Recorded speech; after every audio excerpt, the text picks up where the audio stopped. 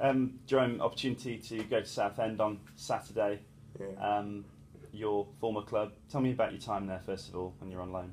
yeah, it was good. It was my first proper, you know, league loan in League Two.